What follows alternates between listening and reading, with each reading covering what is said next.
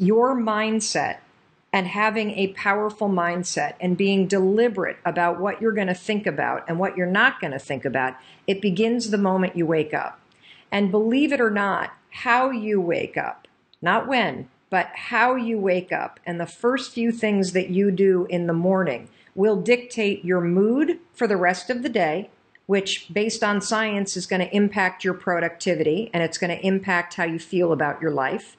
And it will also impact your mindset for the rest of the day. And that's why now that we've done in days one, two, three, four, and five, we've done foundational training. You've learned a tremendous amount about how your brain works, about your default network, about how to be a deliberate thinker.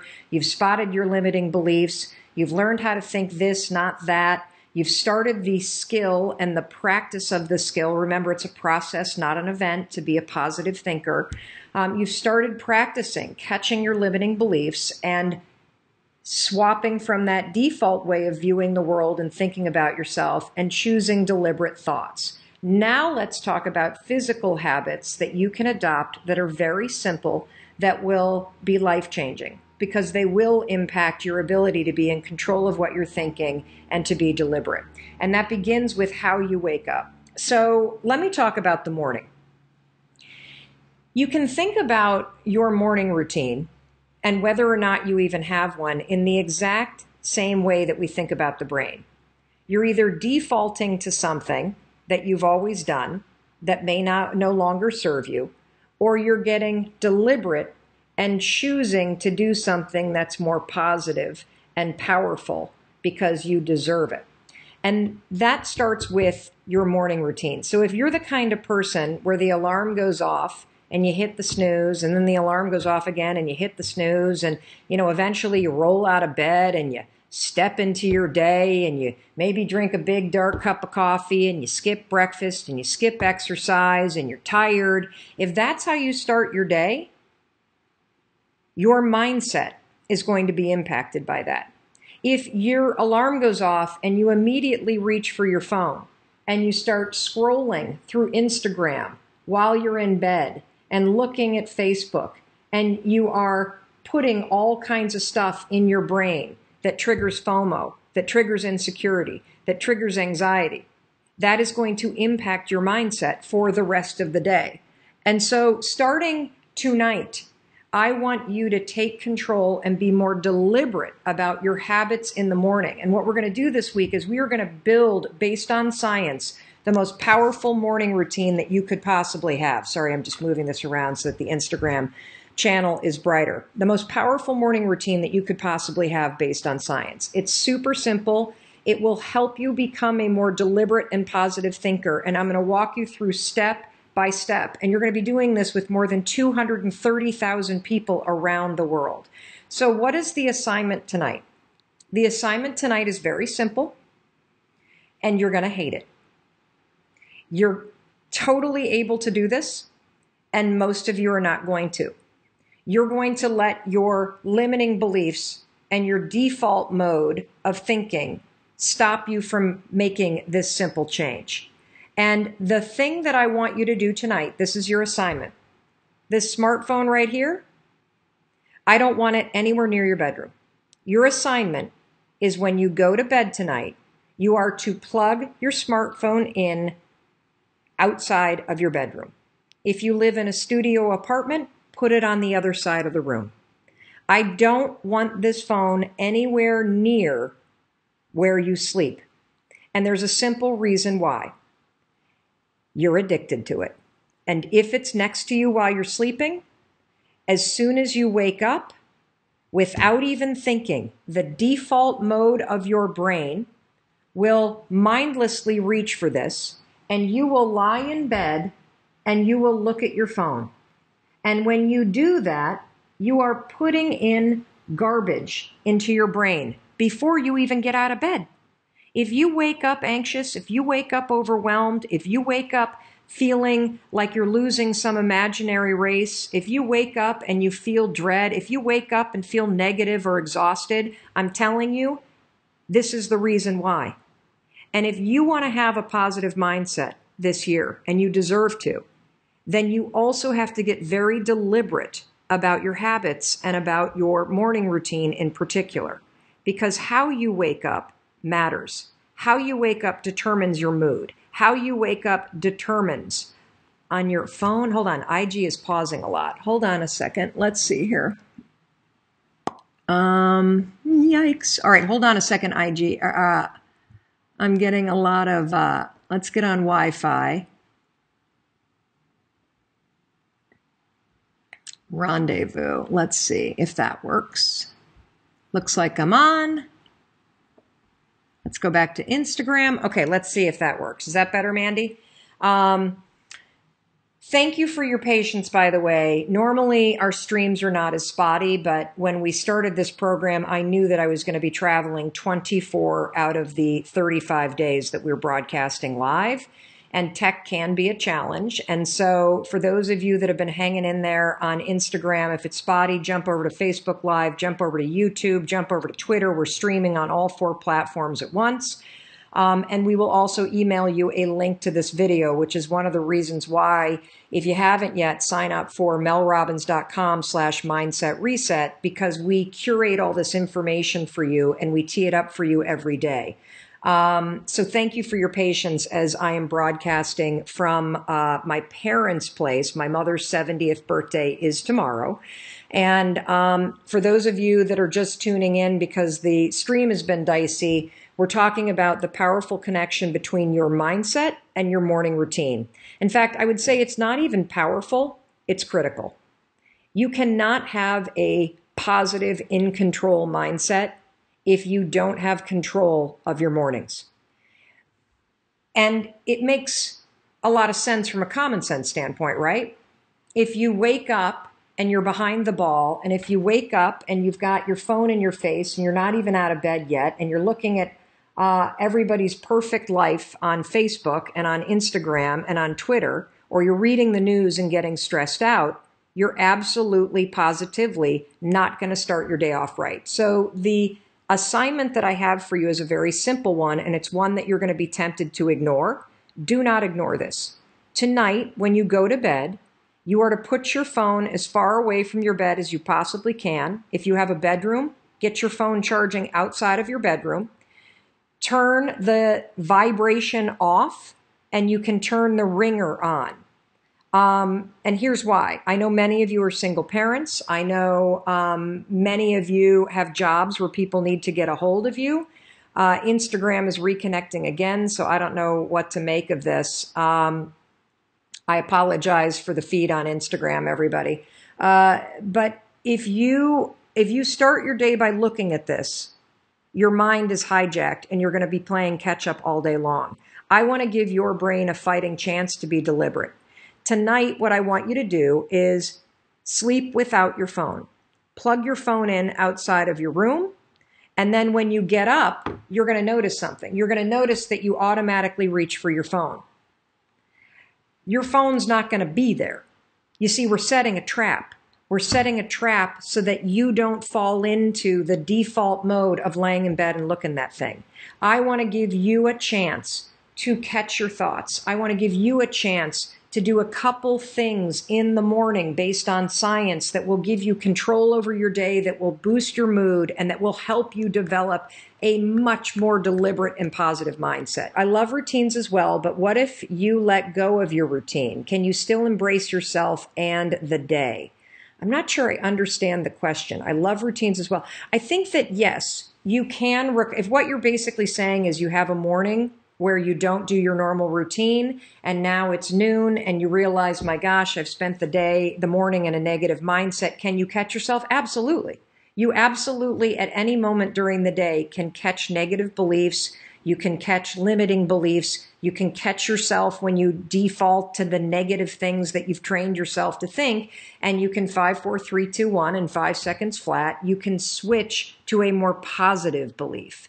Absolutely. You can change your attitude like that. No question. You can put the force fields up if you feel yourself getting sucked into somebody else's drama. What I'm trying to tell you is that while that's possible, and while you should do that all day, particularly as you are practicing the skill of having a positive mind, I am here to tell you, based on personal experience, that when you start to own your morning and when you start to take your morning routine seriously as a habit that you develop that contributes to your mindset and your happiness and your sense of control, it will change your life. If you're concerned about anxiety, having a morning routine that I'm going to walk you through step by step this entire week, this is key to curing yourself of anxiety. And it begins the night before. So Betsy asked, is it better to prep the night before? Absolutely. So the night before, I um, always plug my phone into the kitchen or I plug it into my closet. I turn off the alerts on my text messages. I turn off the buzzing and I leave the ringer on in case there's some kind of emergency.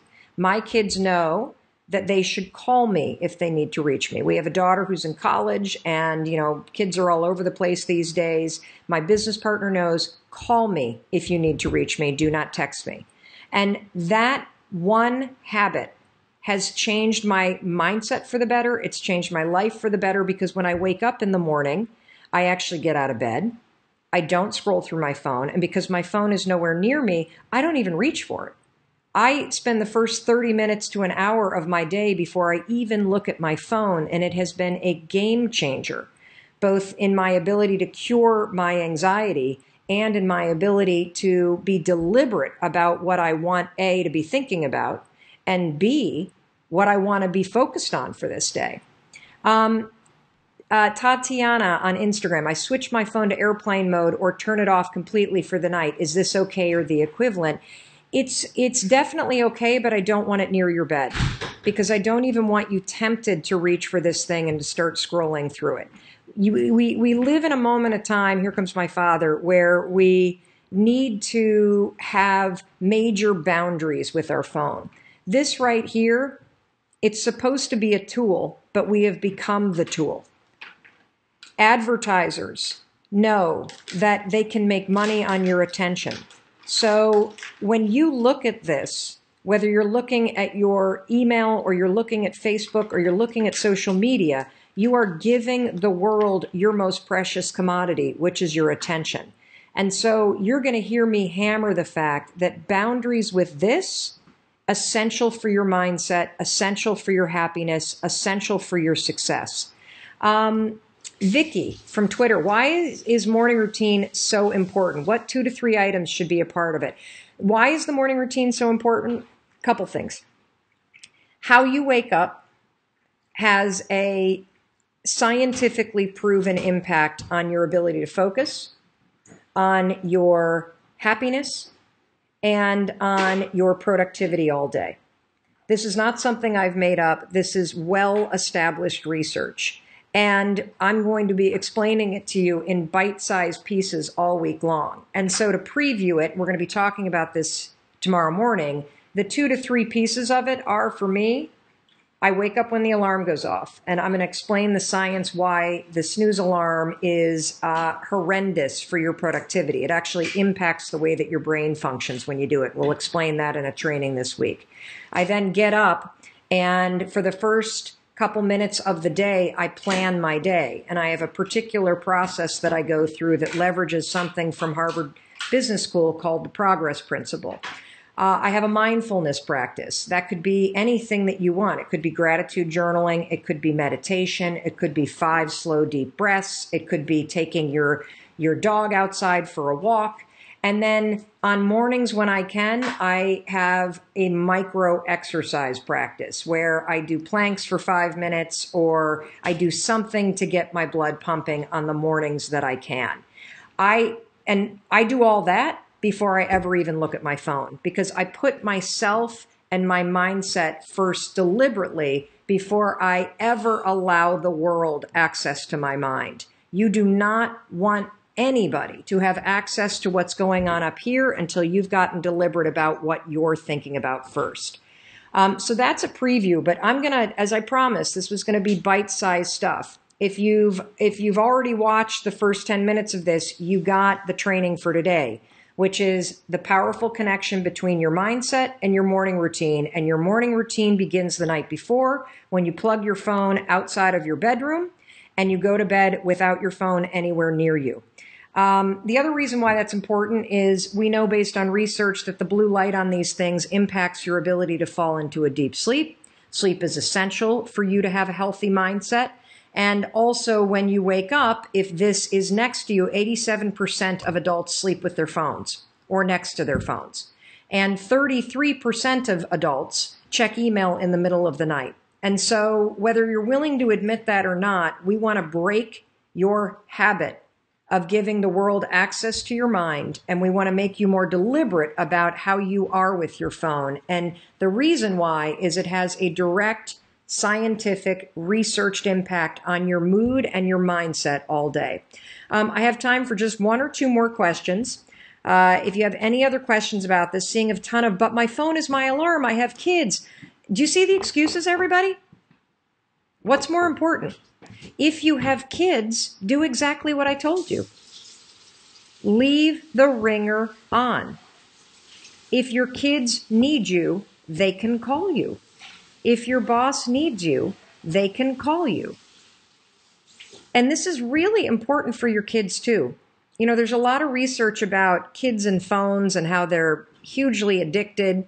And the thing about kids and phones, particularly phones in their bedroom when they're going to sleep at night, is that if you have teenagers, teenagers are biologically hardwired to push away from their parents when they become teenagers. Their friends become their primary uh, support group. They become the most important thing in their life. And kids feel a obligation to stay connected to their friends. And they feel an obligation that if I'm not available for my friends, you know, that makes me not a good friend. And so to help your kids, you need to draw the boundaries for them. You need to tell them that they can't have their phone in the um, bedroom. You need to have a charging station in the kitchen, and you need to model these very healthy and mandatory boundaries with technology, period. And so I get it. Your kids need to reach you. No problem. Plug it into the closet, plug it into the bathroom, turn the ringer on. If there's an emergency, they can call you. Yes, you can use your phone as your alarm. Plug it into the bathroom, plug it into the closet, plug it into the kitchen. Because if the alarm is going off outside of your bedroom or several paces away from your bed, guess what you're doing when the alarm goes off? You're getting up.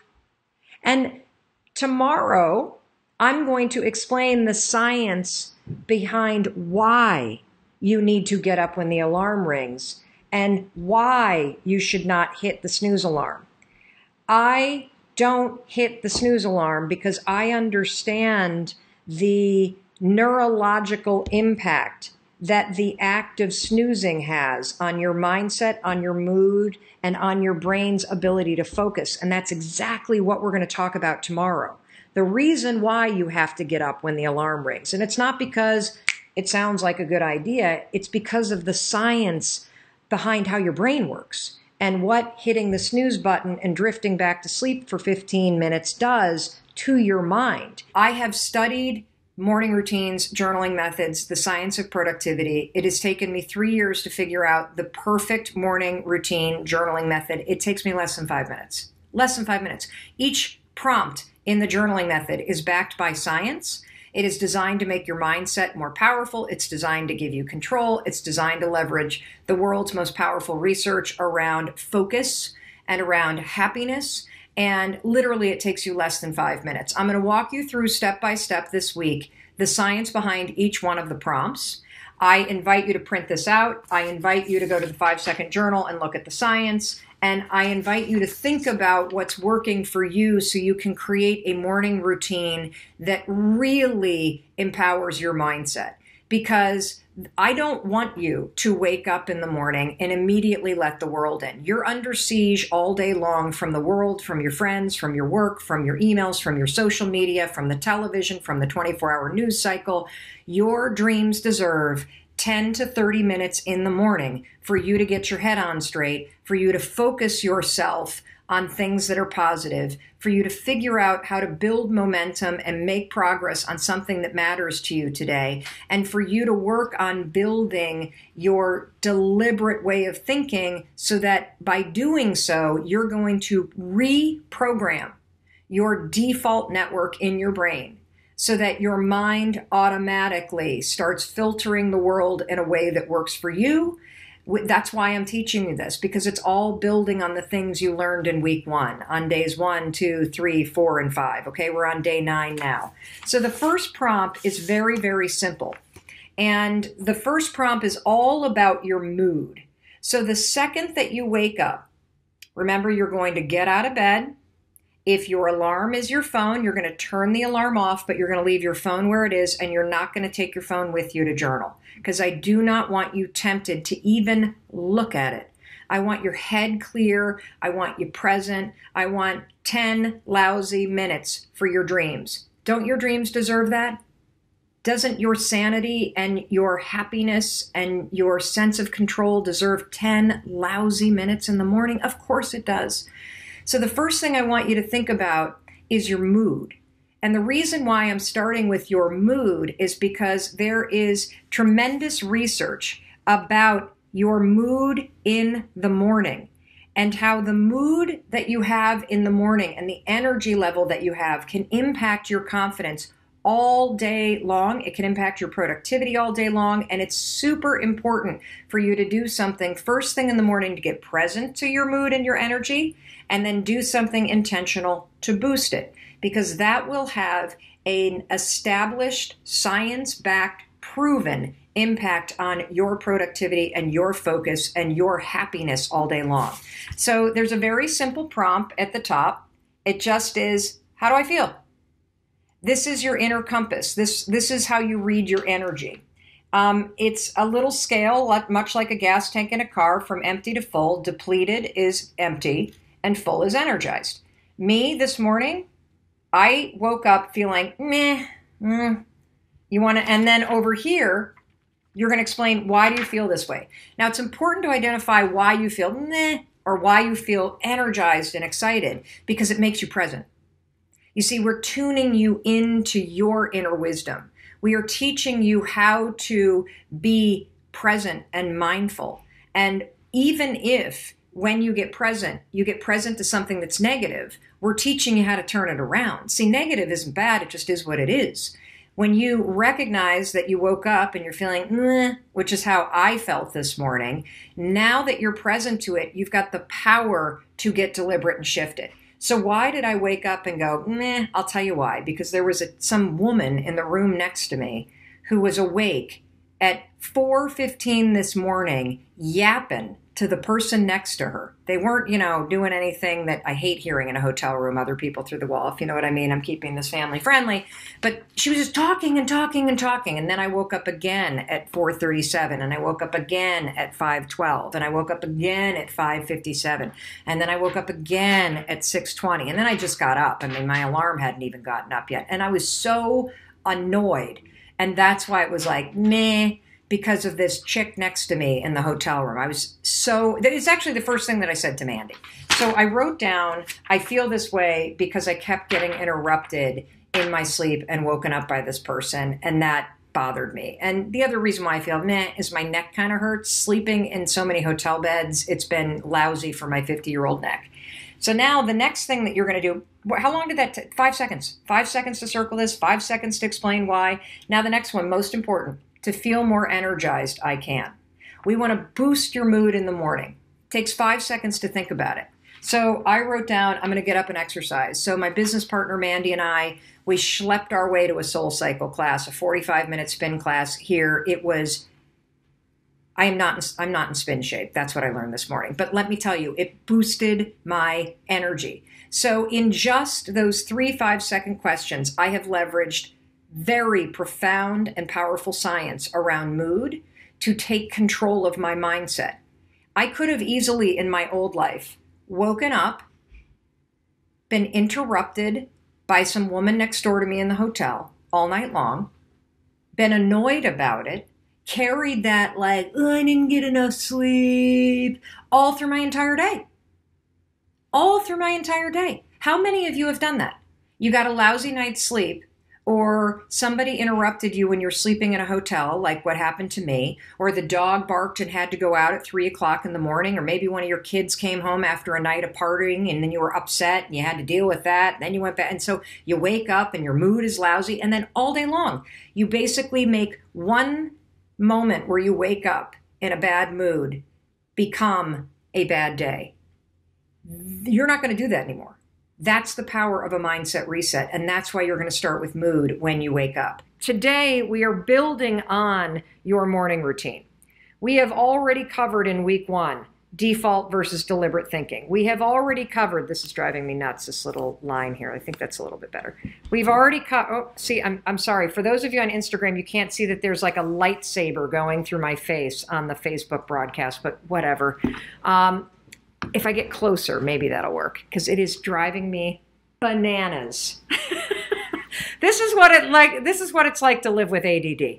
Um, we have already covered deliberate versus default thinking. We've covered the science of visualization. We've talked about how to spot limiting beliefs and how to become the kind of person that when you notice that you're thinking this and it doesn't serve you, that you deliberately think that something that is positive, that is a story about you. I want to tell you something. Um, just this morning, I was talking to one of my favorite people, and she has the exact same story that I used to have that she's a bad person. And so, consequently, she sees evidence all over the place for where she's bad. And she's going through this big breakup right now. And the person that she is breaking up with, basically, while the breakup process was happening, she bas- he basically said to her, in a number of different ways, You're a bad person. Push the button push the button, push the button, push the button. We all have buttons that anybody or anything can push. And that's why it's so important if you have limiting beliefs from your past that you change them. Because if you tell yourself that you're a bad person, you will see evidence that you are. And more importantly, you will also start to act consistently with a bad person. and here's the truth you're not a bad person. My friend is an amazing person. I'm an amazing person. And so it is critical for you to take control of your life and of your thinking. And it starts with the story that you say about yourself.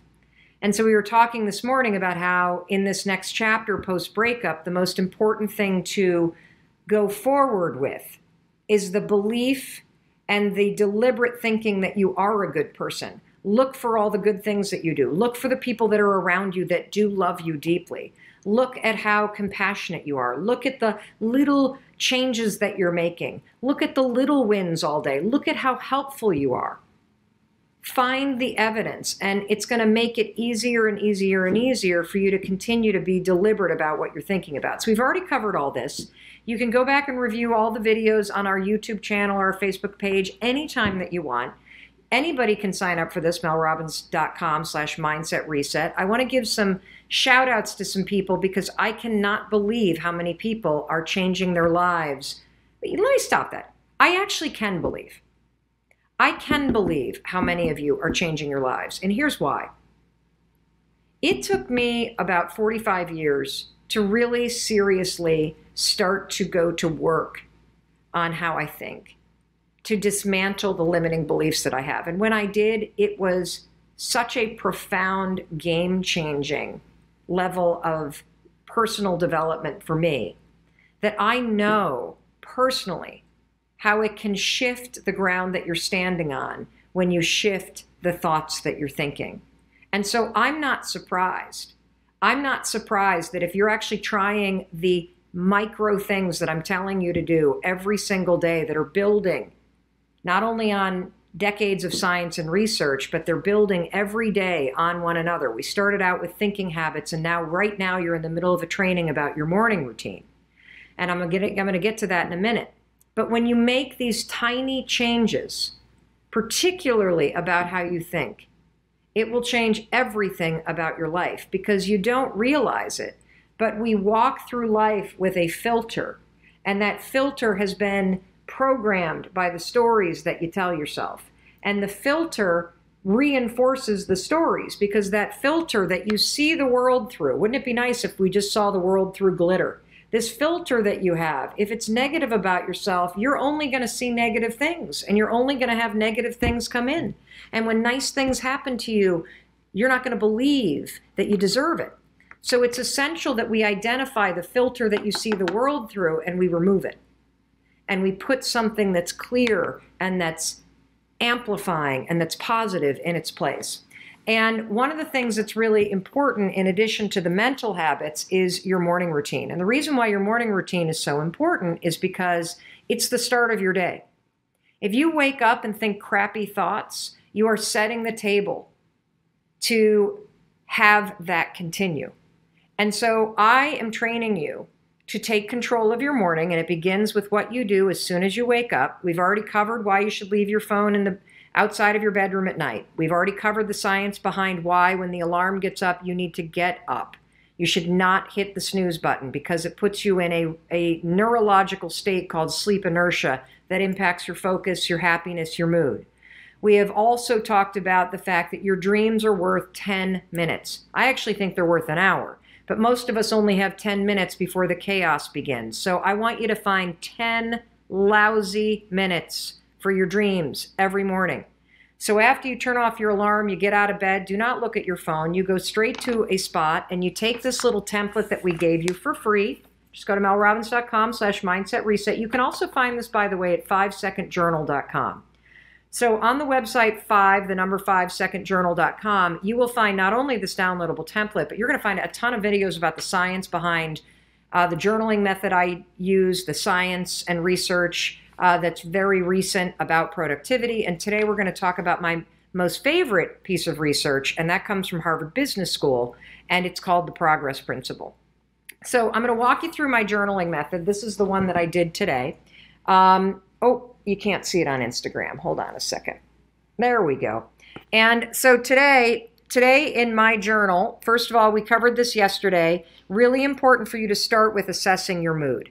And the reason why we want you to assess your mood is because research proves that your mood first thing in the morning impacts your level of productivity, your sense of focus, and your happiness all day long. So, super important as a mindfulness act to wake up and tune in and ask yourself, well, how am I feeling? Am I depleted or am I energized? In yesterday's video, I shared that I kind of circled this near the depleted end, the meh kind of end because somebody had kept me awake in the hotel all night. Well, today I'm really good. And the reason why, I, why I'm really good, and this is probably too much information, is because I'd been kind of backed up after our uh, holiday trip to Tanzania, if you know what I mean. And so yesterday, the train finally got moving again. And so I feel really good. I'm also home so I can cook dinner for the family. And I was able to drop off my son and pick up my son. And that just makes me feel really, really good. Um, to feel even more energized, I went to yoga class today. Um, and so this is what we covered in yesterday's video, but I'm just showing you. These questions take five seconds. And if you learn how to tune in, to read your energy, and then to think of one thing you could do to boost it. By boosting your mood, you're going to boost your focus, you're going to boost your productivity, you're going to boost your sense of control. It's pretty amazing. The next thing we're going to talk about is this puppy right here. This is the most powerful part of the five second journal. And again, don't buy it. You don't need to. We emailed you free templates that you can use. You don't ever need to buy this thing. You can just do this in a journal somewhere. You can do this in your own journal. You can do this in a notebook. You can do this in your head, whatever you want. Um, this is the progress principle. This sucker right here has changed my life, and it, it helps me be a wildly successful woman. Um, you know, we're launching a brand new daytime talk show that's going to have a staff of 70 people, and it's 175 shows a year.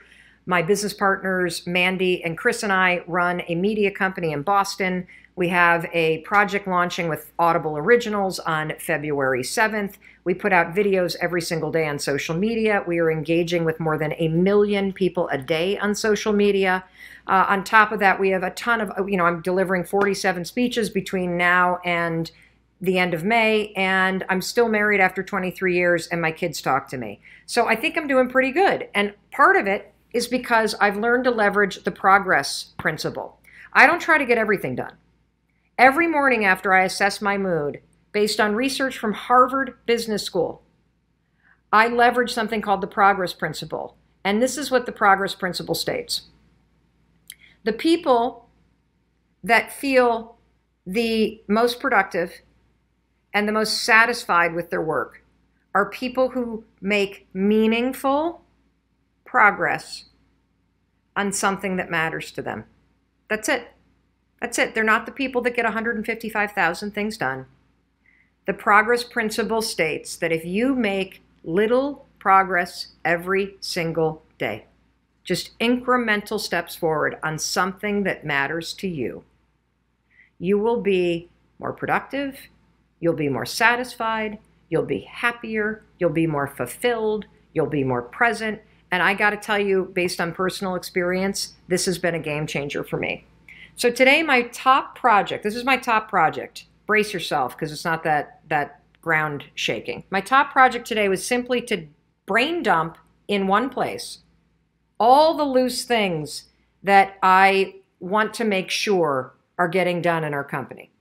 That's it. All the projects that I just that that's it. That was just the top project that popped into my mind. Then you're going to say this project matters to me. Why? Well, it matters to me because it stresses me out when I feel like there are loose ends to things and when I feel like I don't know what's happening. And so I need to do this for me. What's one small action I can do to move forward? One small action, you want to see how incremental this is. The only action that I committed to taking today, based on the progress principle, was to carry my five second journal around so that I could use the other side to brain dump the things that I want to make sure that I'm capturing so I can go over um, this list with the team. That's it. That's it. And I've been brain dumping things as they come up. And there's not as many loose ends as I like manifest in my head. But the good news is I'm making progress. I feel accomplished. I feel satisfied, and so will you. So, all I want you to do today is I want you to continue everything that we've talked about. The, the kind of training part is over. We're trying to keep these training modules around 10 to 15 minutes. So, the training part's over. Out of service to you, let me do a recap of what I want you to do today, and then I'm going to do some shout outs and I'm going to answer a few questions. So, by way of recap, what is your assignment? Well, your assignment always and forever from this point forward, when you do a mindset reset, it's not an event, it's a process. It's something you practice all day long. The moment you notice that your thoughts are drifting to something that's not serving you, you're going to get deliberate and you're going to direct your thoughts to something that are positive. That's something you're going to do all day long. Visualization, also something that's super important at the beginning of January, we covered the science of visualization. This is one of the most important videos I've ever done because I explain the reason why visualization works.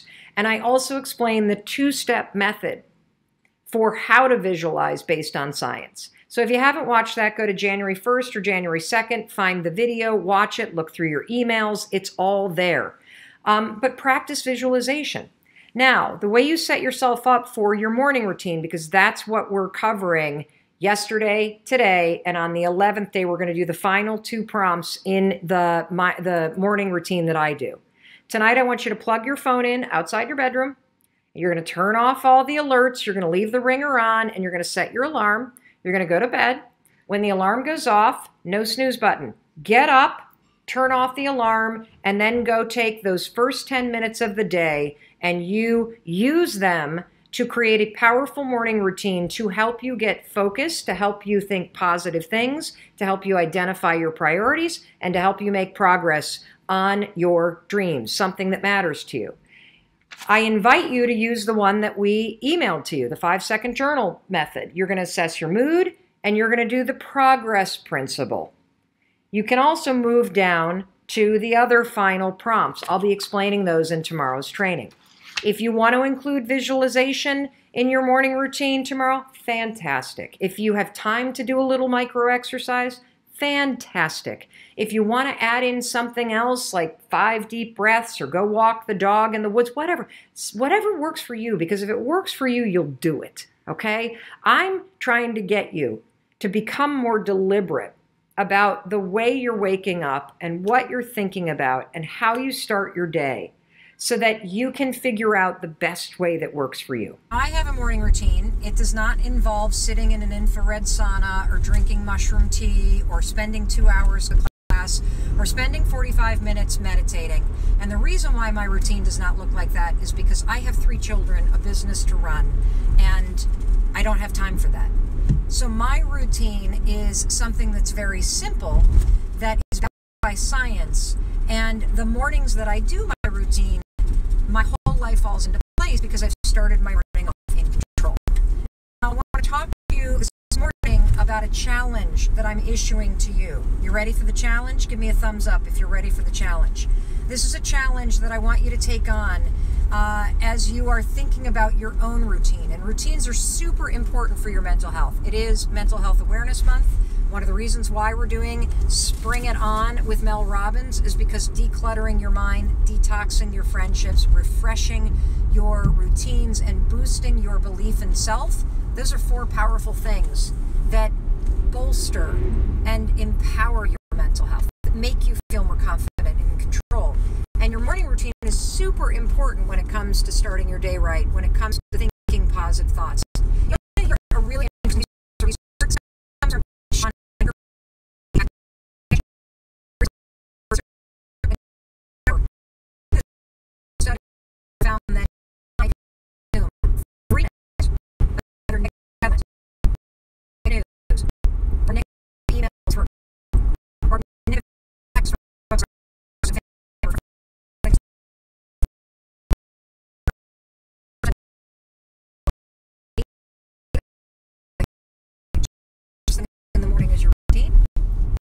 Your mental health and whether or not you feel in control.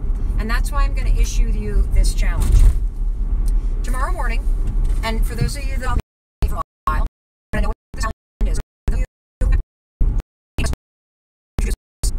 Do the positive. I want you to take the snooze alarm.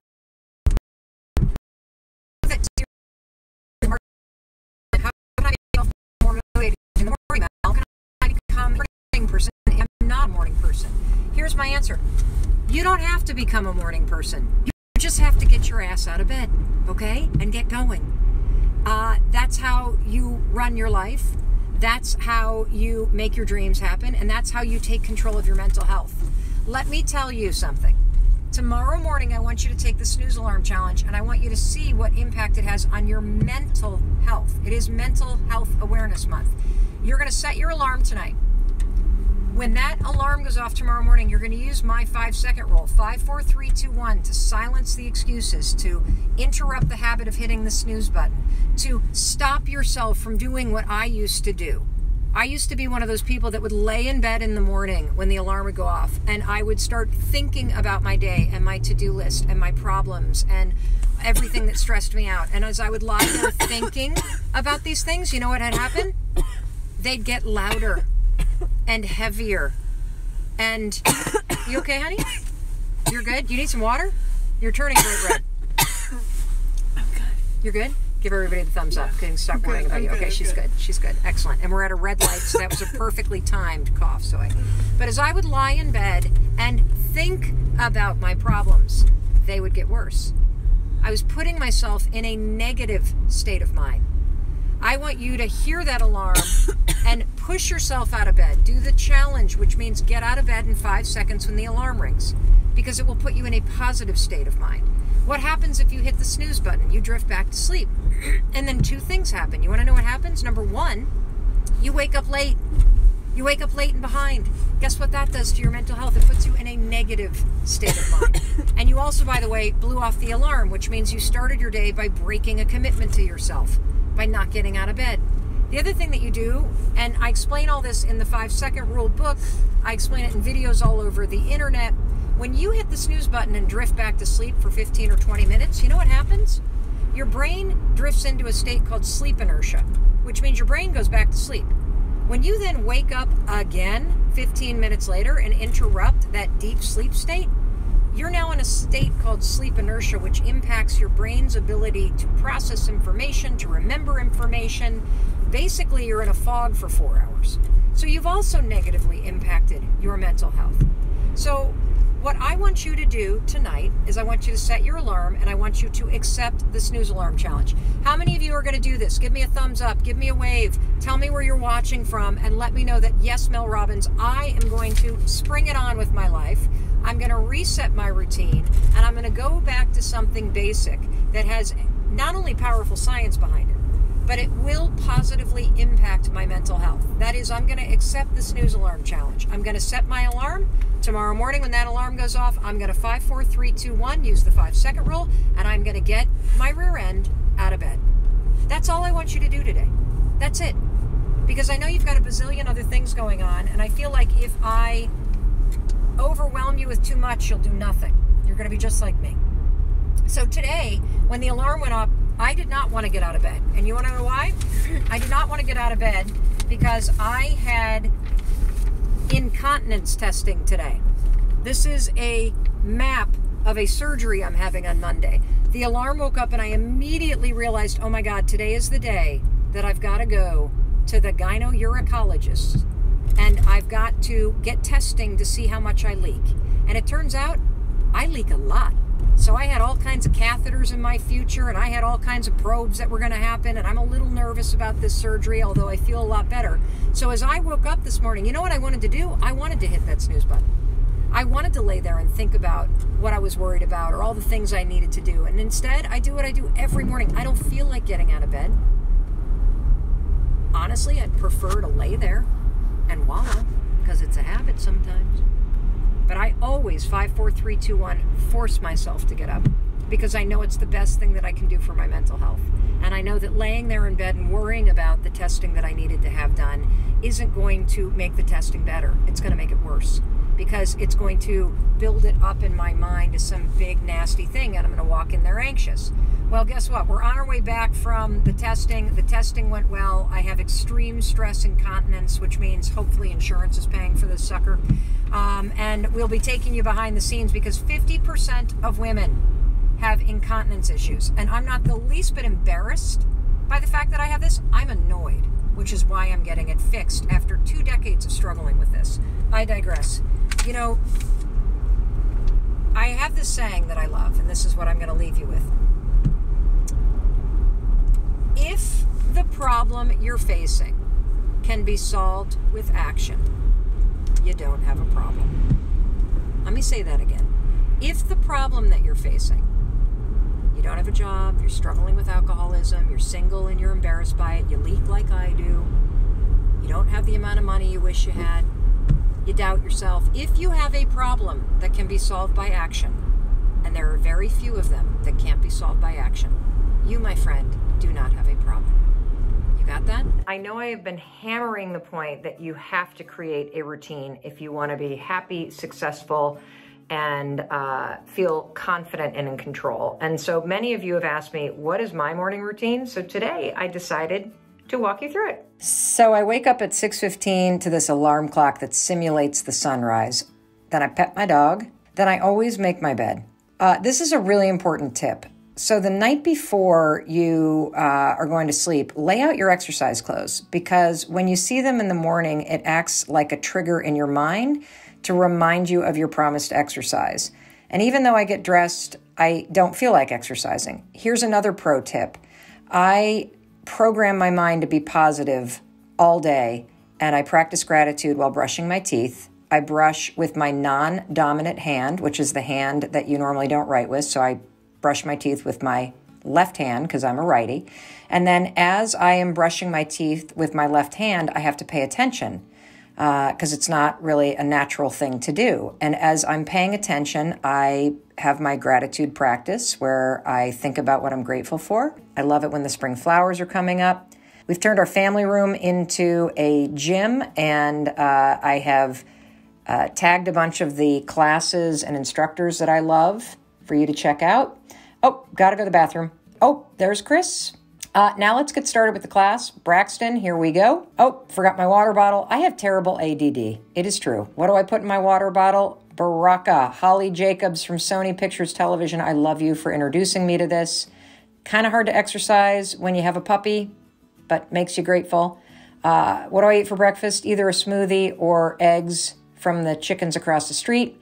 And I'm telling you right now, your morning routine is everything. So get up early and find time for yourself. So there you have it. That's my typical morning routine, and it never fails. Every morning that I stick to my routine, I have a much more powerful day. And the mornings that I don't stick to the routine suck, honestly, because I wake up behind the ball. When I get up when the alarm rings, I have made and kept a promise to myself. When I make the bed, I am uh, completing something before I leave the bedroom. And I also, whenever I walk back into the bedroom, I see something that has been accomplished. I don't see a mess that needs to be completed. Um, by prioritizing my physical and mental health and getting some exercise in, I not only feel better mentally, but I also release chemicals in my brain that helps me focus. There is no doubt that having a powerful morning routine is part of every successful person's programs. It is something that you deserve. It is something that you should create for yourself, and it is something that will improve your life. Now, I want to challenge you put your morning routine tomorrow morning on social media, put it on your stories, uh, do a collage of photos, and please tag me and describe your morning routine because I am going to be watching, I'm going to be cheering for you, and I'm going to be celebrating people on my story for the next week who are putting their morning routines out there. Remember, morning routines are amazing. So make one that works amazingly well for you. Here's what we know happens when you add a simple high five to your morning routine. Number one, you get a drip of dopamine. And dopamine is critical. The reason why dopamine is critical is because it boosts your mood. When you simply high five yourself, your brain recognizes the high five because the programming's already in here. Your brain knows what to do when the high five is coming. Boop! Dopamine. Dopamine's important because it boosts your mood. We know that your mood in the morning impacts productivity all day long. Second thing that it does, as you go to raise your hand the first time you do it, you're going to be thinking, Mel, Scott, you, you two have lost me on this. This is so stupid. Like your critic is going to be going because this part of your brain is going to be engaged. The second you get close to me or something crazy happens, your mind goes silent. Your mind goes silent because your brain is now triggered by the action. This is called neurobics, an entire field of study about neuropathway activity and physical motion. Your brain goes quiet because your brain recognizes a high five. And so it grabs all the neuro association and programming in your subconscious and it marries it with your reflection. A high five has always said, I believe in you. I see you. I love you. You got this. It is celebration. It is belief. It is confidence. It is optimism. It is resilience. It's motivation. A high five, never in the history of high fives has a high five been, have a terrible day. You are the worst. You're going to fail. That's not what a high five means. That's why your critic shuts up. Because the high five programming that's already in your brain overrides it. It's incredible. That's the third thing that happens. As you repeat this new action your brain is watching, this isn't a mantra, which doesn't work, by the way. This is a physical habit your brain is witnessing you do. So your brain starts to see you treating yourself with kindness, compassion, forgiveness, acceptance, support. Your brain's filter, the reticular activity set, system, is paying attention. It's changing in real time. Do you realize that after adding a simple high five to my morning routine, it took about five days for this to happen, by the way. But I've now done it since April of 2020. Every single morning after I brush my teeth, I stack the habit together. It's now programmed as a habit loop in there. Don't even think about it. The benefits are incredible. When I see myself in the mirror, it wouldn't occur to me to think something negative because I have fundamentally rewired my mind. I see a human being that I'm rooting for. I see the person I high five every morning. It's freaking unbelievable. And the way that it's changed me as a leader, I don't look at what's wrong. I focus on what's working. And when something screws up, like this morning, we, I put up a big post this morning about uh, depression because my husband is now publicly talking about the long-term depression that he's had, that he's been struggling with. And we edited the post really intently because it's a serious topic and I have millions of followers and I would never just send somebody casually out on a stage to talk on my behalf. So everything I post, I get last eyes on. And the post that we edited isn't the one that got posted.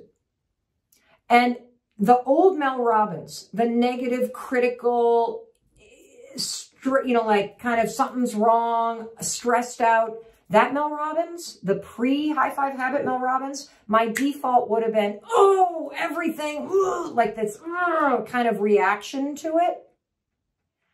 The new Mel Robbins was like, oh, okay. I wonder if it was a tech glitch. Well, let's fix it.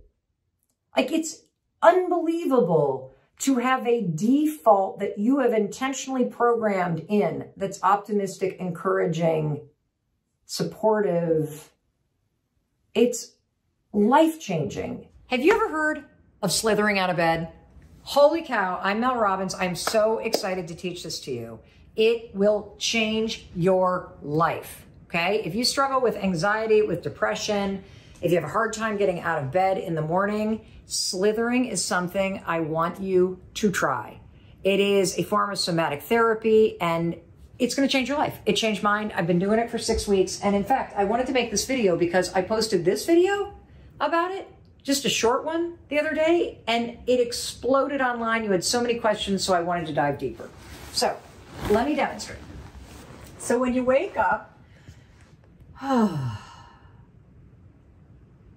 and you feel that heaviness, what I would do is the first thing I would do is I would high five my heart, which I taught you in the high five habit. I put a hand here and a hand here, and I just say, I'm okay. I'm safe. I'm loved.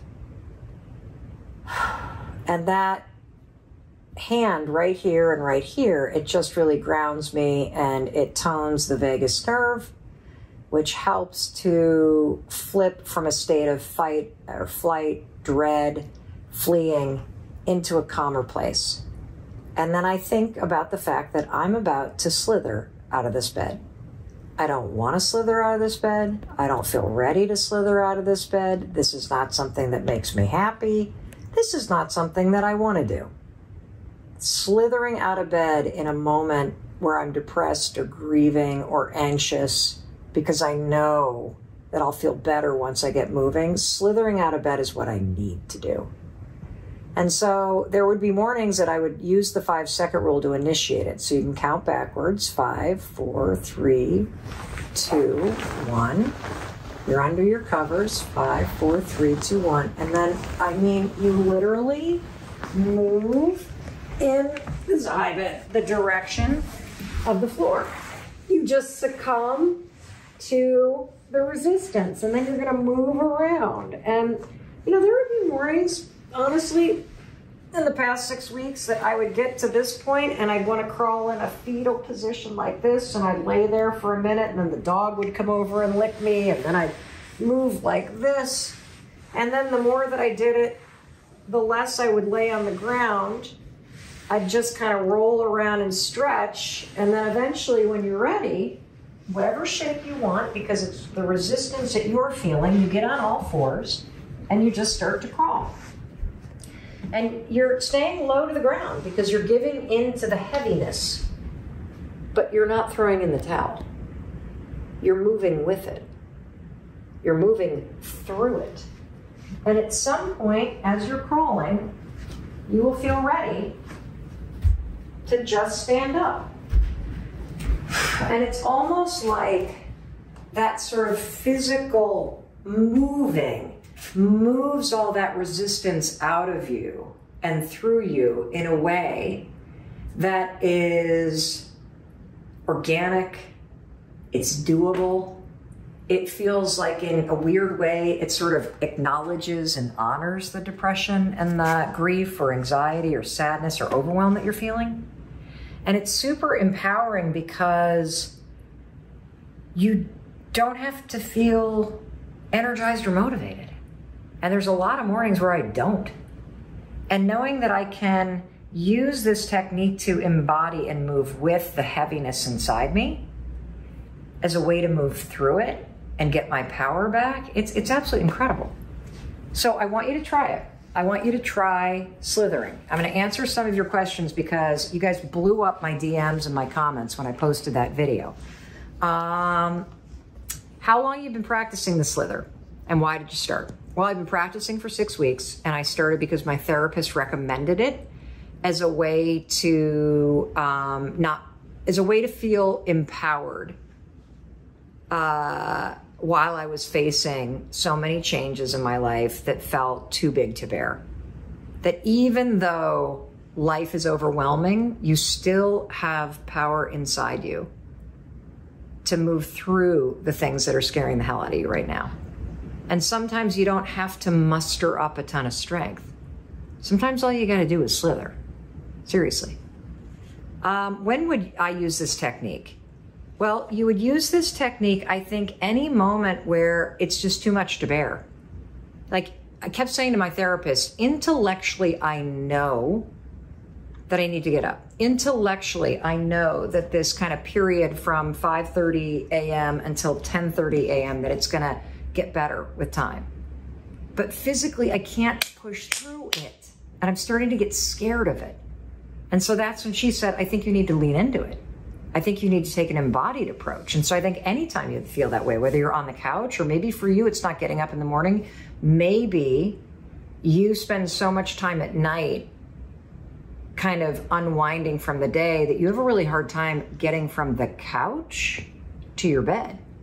So maybe for you, it's like an end of the day transition from one place that you're sunk into uh, into your bedroom. Um, have I noticed a difference? Absolutely. Absolutely. Um, I've noticed a huge difference because I now have another tool in my toolbox. I mean, I've been using the five second rule for 14 years to five, four, three, two, one, push myself out of bed, force myself out of bed. This feels like something gentle and uh, just powerful in its own way. And I love having two different things I can do. What if I have a dog who will jump all over me? It's actually great because the dog like is worried about you because the dog can sense all that heaviness in you. And the dog also will probably bring some playful energy, which is probably going to make it easier and faster for you to stand up because their energy will transfer to you. Um, what if my bed is high up or I have a wood floor or I sleep and I don't have the mobility to fall out of bed? That's a great question. I, if you have a high bed, roll the foot out first, and then you can kind of like slide down, you know, like that, and do that. I think if you sleep on the floor, maybe just roll around on the floor, right? So if you're, you know, on a, a, a futon on the floor, or you sleep on a thermarest or whatever, just roll off the thermarest or roll away from where you are so that you get kind of moving. Um, that's a probably a great way to start. And so, whatever the slither or the slide or the embodiment of moving through the heaviness means to you, that's what you want to do. Um, let's see. Can you teach this technique to your kids? Yes, absolutely. Um, I think it's great for kids actually because you're honoring how they feel. You're not trying to correct them or coerce them you're actually creating a deeper connection with them because you're honoring that they don't want to get out of bed. And so they, oh, it's a morning and you're going to slither, you're going to slide out of bed so you can have fun with it. Um, what if you have a hard time feeling stuff in your body? I actually think this would help. Maybe it's hard to get out of bed because you are disconnected from your body. Like I was surprised, I was kind of scared to try this because if I already felt so scared in my body, this is gonna sound weird, but if I already felt so scared in my body, hiding under the covers gave me a false sense of safety, right? I'm hiding from the world, even though I hate the feelings of my body. So there was something scary about like allowing myself to slither out of that safe cocoon where I'm hiding from the world into the floor where you're open and, and all this stuff. And so I get that. But you've, I've been empowered by how quickly that heaviness that pinned me to the bed leaves as I roll and move and start crawling and walking. And you know, the more you do it, the more you'll notice the faster you go from like crawling to actually standing up. I'm do it the questions. Oh, we've got one more. Um, can I use somatic therapy in other areas of my life? Absolutely.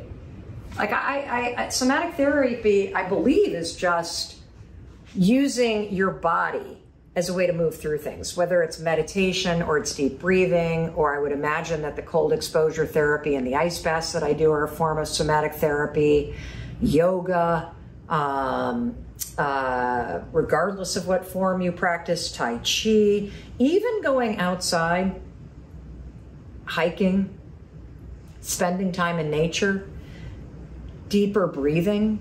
Those are all forms of somatic therapy that we all need to integrate more into our day to day life. We were talking, and you said something really interesting about morning routine. So tell me what happened. Well, so I've been doing Spring It On, which I've been loving. And, you know, last week did a little friend cleanse. Yep. Um, in a good way. Yep. And, you know, this week is all about the morning routine and the evening routine. And I said, I feel like I have morning routine envy. Now, how many of you have morning routine envy?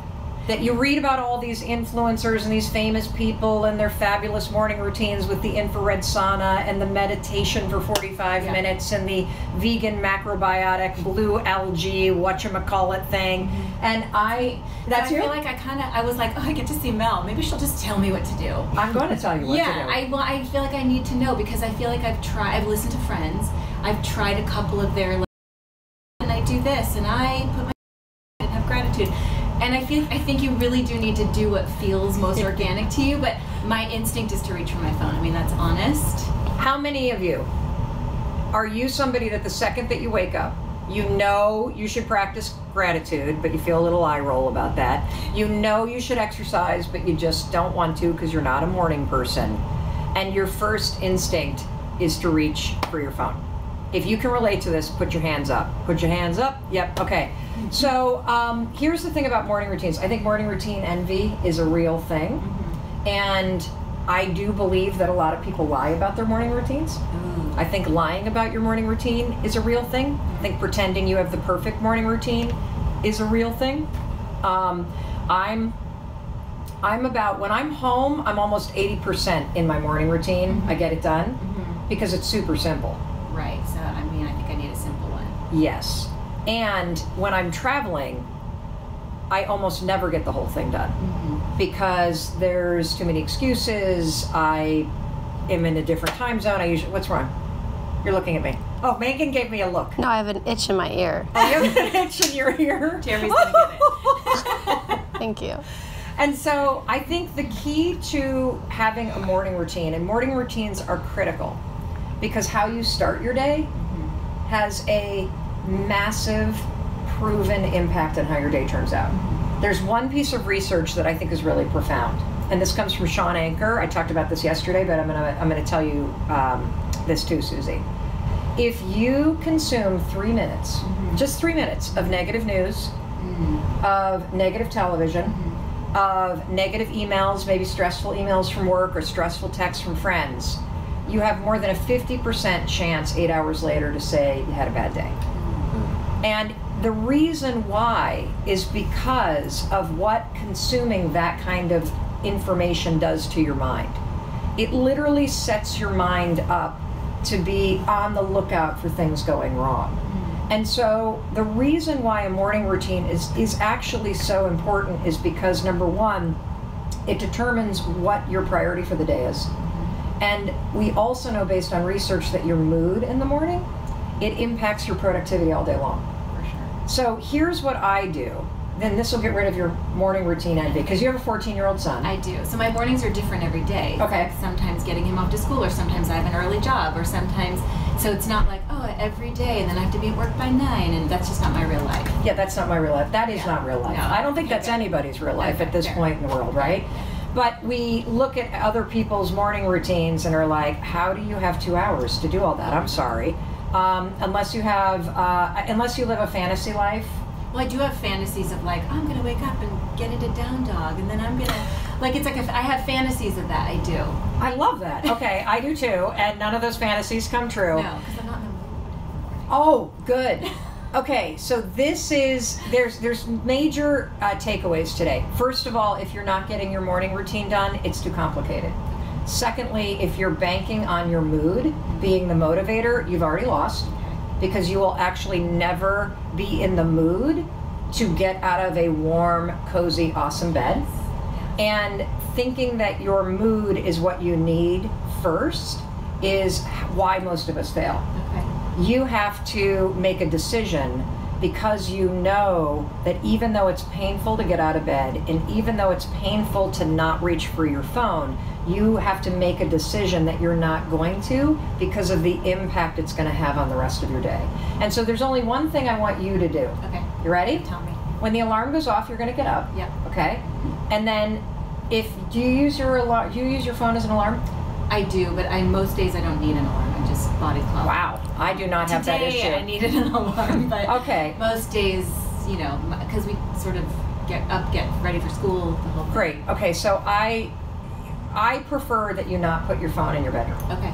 That way you can't reach for it. Okay. Because it's a habit to Yeah. reach for it and you don't even realize that you're reaching for it. And so what I would prefer that you do is that you put it in your bathroom or you put it in your kitchen or you put it on the floor in the corner. Okay. And since you have a 14 year old who needs you, just leave the ringer on but Yeah. turn the um, the buzzer off. Okay. Okay? If you need me, call me. Okay. He will text you in the middle of the night, but he probably won't call. Right. Well, you know what he I'm saying? can also walk down. The Yeah, hall. can walk down the hall. yeah. Okay, great. So, um, so that's what you're going to do. You're going to get up, and then you're going to do something that I call self before sell. Okay. I want you to find. Let's start with five minutes. Okay.